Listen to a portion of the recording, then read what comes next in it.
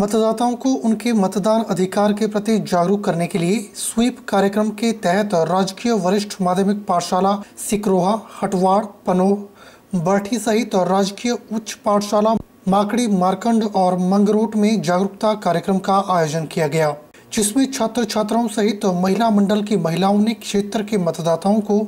Slogan और banner के माध्यम से रैली निकालकर मतदान करने का संदेश दिया। कार्यक्रम में जानकारी दी गई कि 18 वर्ष की आयु पूरी करने वाले युवा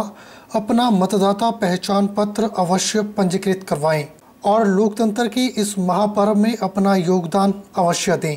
साथ ही बच्चों से आग्रह किया गया कि वे अपने घरों, आसपास के गाँव के लोगों और बुज़ुर्गों और दिव्यांगजनों को वोट के महत्व के बारे में बताएँ